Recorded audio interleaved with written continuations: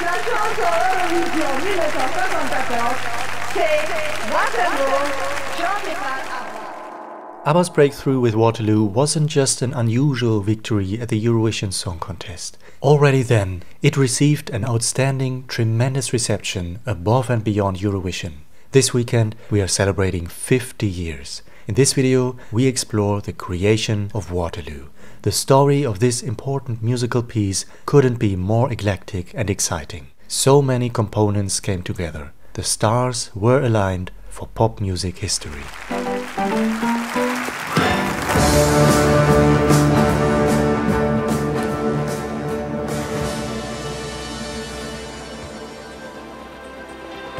Waterloo was created during the cold winter months of November and December 1973, when it was announced that Björn, Benny and manager Stig Anderson were invited again to submit a song for Sweden's pre-selection of the Eurovision Song Contest.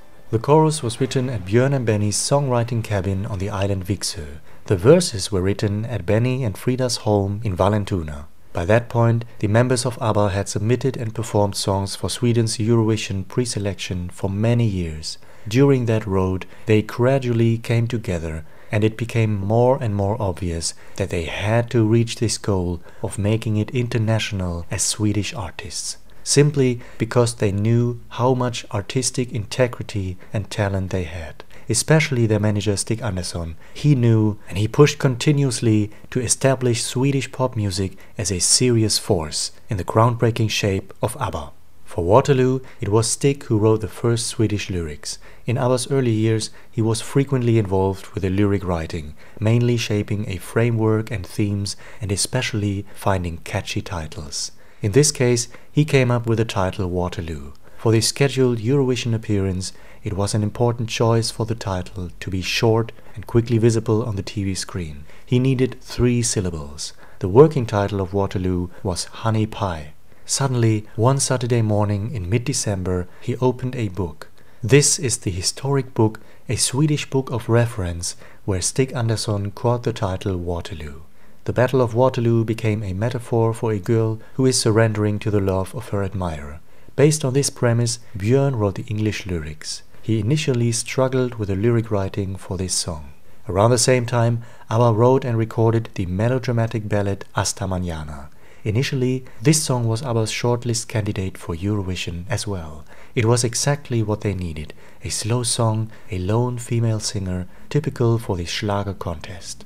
But then they had this up-tempo, cheerful song with two female voices, that major key composition Waterloo. Maybe another interesting contender for the Eurovision Song Contest. Not because it fit into the show, but because it didn't. With Waterloo, Björn and Benny took a risk. This song had the chance to stand out.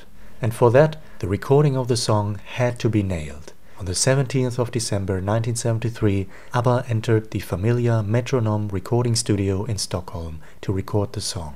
They were actually about to reach the end of the recording sessions for their second album, which eventually became Waterloo. The band for the entire album and for the recording of Waterloo features ABBA's core studio musicians. Benny Andersson on keyboards, Janne Schaffer on guitar, Rutger Gunnarsson on bass and Ola Brunkert on drums. The recording sessions for the song show how much ABBA's musicians were also an important key element for their recordings. It was guitarist Janne Schaffer who came up with the unforgettable bass and guitar riff of Waterloo. It was inspired by one of the songs from his then recent solo album.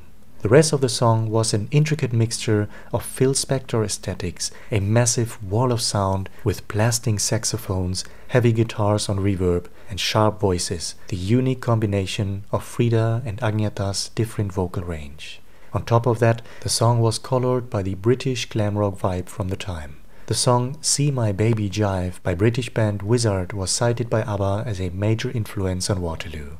Within one day, the basic track of the song was finished.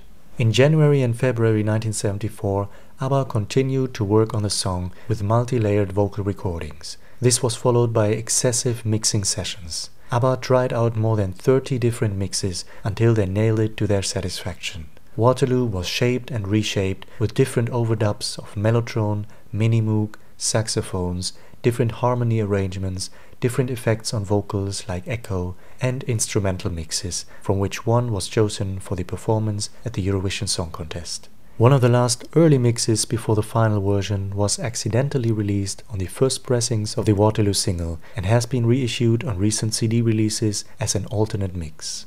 At the Swedish pre-selection, ABBA won by a mile. They had won over their native audience and were off to represent the country for Europe. The song was just perfect.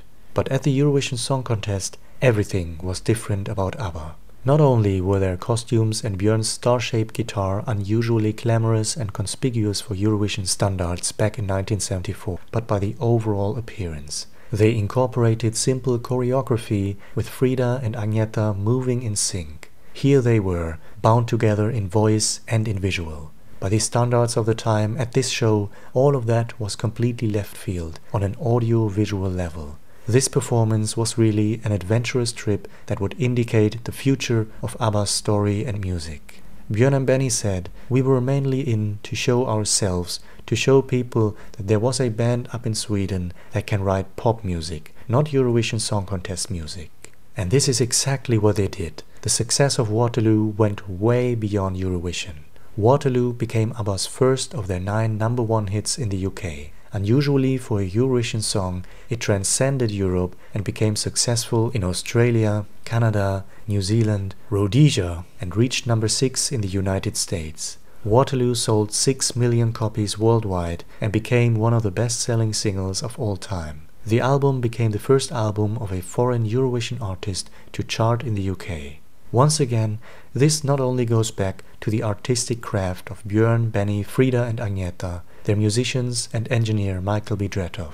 It was also the year-long experience of manager Stig Anderson, who had established contacts and contracts across the world, deals with labels, colleagues and friends, which made it all possible for Waterloo to be spread across the continent immediately as the victory happened. The single and album had been released four weeks earlier. And finally, Waterloo is also special because it has the most alternate versions of an ABBA song that were released. ABBA recorded the song in Swedish and German, which became their final regular studio recording in both languages. They even performed the German version twice on television. It was also recorded in French, which became ABBA's first and only recording in French. A Spanish version was reported to have been recorded, but it has never surfaced and it is not entirely clear if it was ever recorded. For the one and only time, ABBA also recorded an exclusive jingle based on the song for BBC Radio 1 in 1974. This recording surfaced only nine years ago.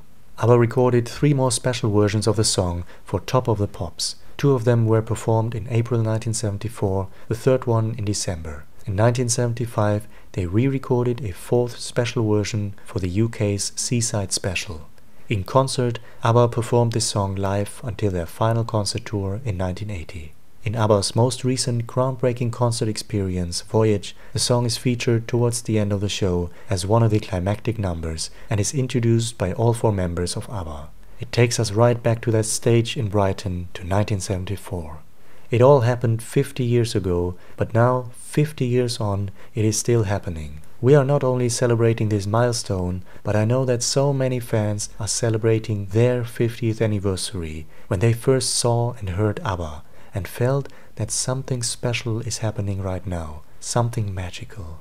Even for me, it is an anniversary year, 20 years since ABBA came into my life, in the shape of puppets in their so-called last video ever. This video was in turn a celebration of ABBA's victory with Waterloo.